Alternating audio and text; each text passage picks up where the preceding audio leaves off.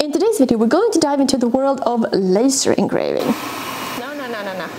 This right here is the Atezr L2. Um, it's a 24 watt laser engraver with air assist. It has a couple of, of cool features. Let's go over this machine. Um, what do you need to know about laser engravers? I am new to this area. I'm still kind of figuring it out. Can you figure this out rather quickly? Does it take a long time? Let's see. Um, let's dive into the video, shall we?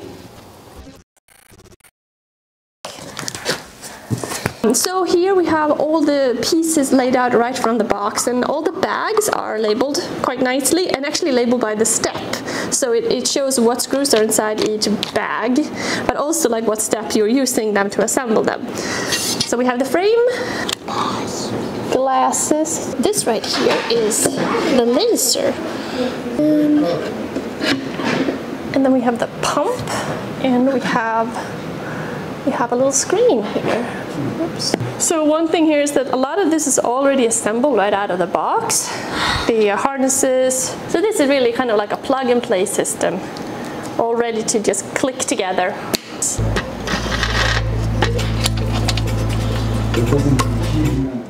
So machine is all set up and I'm at the stage right now where I want to start playing with this machine. So I'm going to uh, download software they are suggesting two software options here, Lightburn and Laser GRBL, GRBL. Okay, so here we have a lock.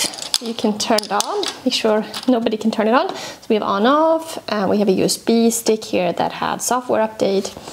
We have HDMI cable here going to the screen. This is the power. Now let's connect my laptop. Turn it like that. Okay, there we go. Here, setting. Okay, we have a touchscreen. Autofocus. This uh, Lightburn seems like a pretty nice software. I also downloaded this other one, the Laser GRBL, which is not nearly as sophisticated, but it is free and it's starting up. Until I get a sense for when you need to wear the glasses and when you don't, I should probably like keep them on, although everything's very green. When you think about, you know, getting a laser engraver compared to a CNC machine, there are some overlap there, right? Like if you're interested in making signs, for example, you can use a, you know, a CNC machine to make signs and a laser engraver, but the look is different, right? Here, uh, we're now working with a bit that we have to, you know, switch depending on the material. Um, we don't have to go down we only have the laser itself. So we're really working with fire. We're burning here, right? And, and, so it's all about controlling that laser. So right here under here now, I have a thin piece of plywood. Let's hit start. Oh wow, okay. Okay, that didn't actually do anything. Still nothing. So yesterday when I was playing around with this, I wasn't able to get it to work and I think my main issue was that I just had my speed set too quickly. I was testing between like 300 to 3000 speeds. Did a test where I did like 30 and that seems to be working better. Let's do this little square here. 40 millimeters per second in terms of speed at 100% power. My issue all along was just that I had things way too high, by a magnitude of 10 or 100. the thing that I think is pretty appealing about a laser engraver um, is that it's there's not much to it, right? Um, I mean, it's about finding the right setting, but you don't have to think about securing your material in any particular way, not like the CNC where there's such forces involved. Uh, so basically, I'm just kind of trying to now do some tests. So I've written hello, and I have changed the speed for each hello, and the speed is all at 100%. The percentage refers to how much power you're getting from the laser itself. Is it at 100%? Or is it weaker? And the speed obviously is how fast the laser moves. If it moves very fast, you'll get a shallow cut. It's not gonna go very fast. Um, if it moves very slowly, you'll get a deeper cut. I just turned some fans on high because it got a little smoky in here. That's one thing about burning stuff on wood. But this was kind of an interesting experiment because you could definitely tell that 10 millimeters per second, 20, 30, 40, 50, 60. This is probably the best one. Kind to do the same thing again. This time let's put all of the, uh, things on 30 millimeters per second and then let's mess around with it with the power here. Smokiness, certainly something to consider if you want to get something like this. It's nice to have a workspace because this is quite smoky and I've got fans going. I guess you could build some sort of system to capture the smoke. So I would say from these tests right here, this still probably the best one. This is 30 millimeters per second at 100%. None of these at a lower percentage really worked, but when we bring it down to 20 millimeters per second and we lower the percentage, that actually kind of works here. So maybe like this one when you're testing something like this, there is a question of the machine, there's a question of the program you use, and then of course your ability to, you know, how, how well you know it. So I'm using this Lightburn now, which seems to be a, a rather common program within the laser engraving uh, community.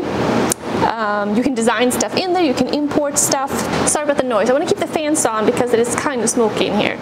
Um, so one thing, another thing I want to test out now is um, how well does this autofocus work? Like this has an autofocus feature.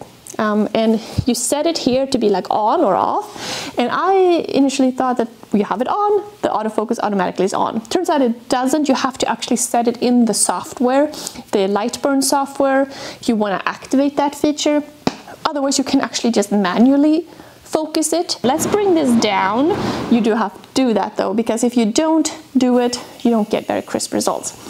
Now, the thing about, um, you know, figuring out something like this or any any machine right when it comes to to creating stuff it's about playing with it and, and and just kind of learning what settings work and what doesn't work and that also depends on what material you are using right one thing i want to check is engraving on leather because that'd be kind of cool piece of leather it is kind of nice you just put the leather there I don't have to um, you know glue it down that seems pretty good. That might be my favorite yet. You know, leather obviously is gonna react differently than wood. It also smells like burning leather, which is not the most appealing smell, but you know, I like that one a lot.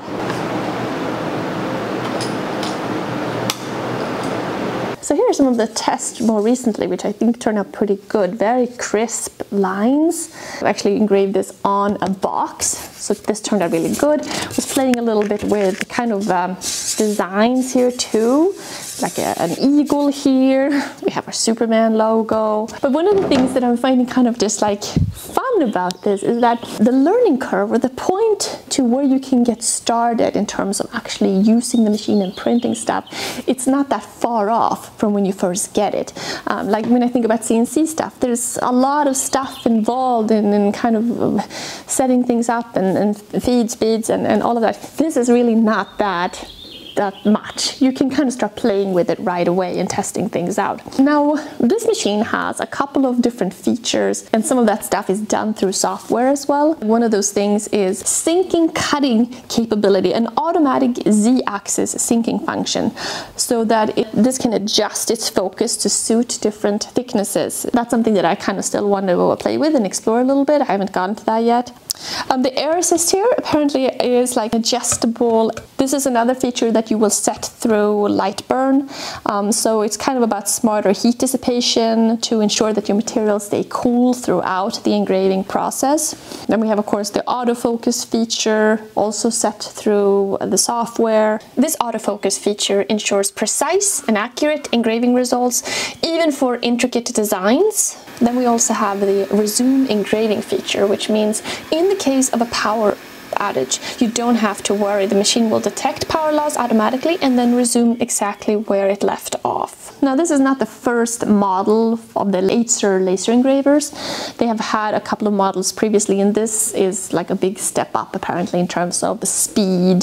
This will engrave three to four times faster than uh, their, their first generation counterpart. So it's you know, quite a lot of improvements in this machine. Now there are a couple of different ways that you can import a design into this here now, you can either connect it to a computer and then operate it through a software, or you can copy that file and put it directly on a USB stick. Um, like if you didn't want to have, you didn't have access to your laptop or something right there. Um, I, I, have to say, in terms of the design and everything, I look, think it looks really good. It's very sleek, um, like not too complicated in terms of the parts to it.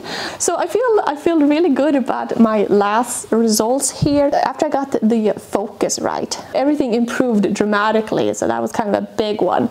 Um, and of course, you know, getting that speed right, the percentage right, and then when you change material, you have to kind of change those settings again, do some new tests.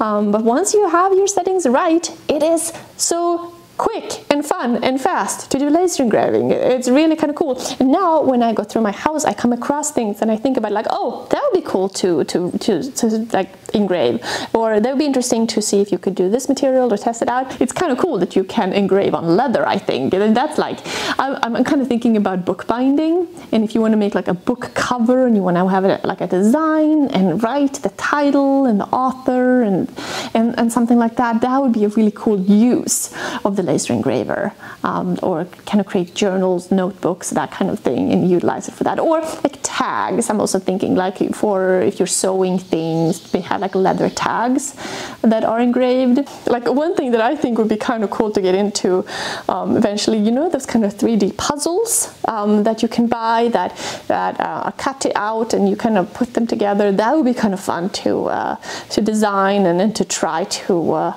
to cut out. Um, let me know if you have any questions in the comments below. Um, I'll put a link to this unit in the description. Um, you can go check it out if you're interested. I think that's about it. Thanks for watching guys and I'll see you soon. Oh, let me know in the comments below if you have a laser engraver what your favorite thing to do with it is. Do you make signs with it or do you engrave um, other things? Do you use other materials? Um, I would love to hear about it in, yeah, in the comments below. Let me know.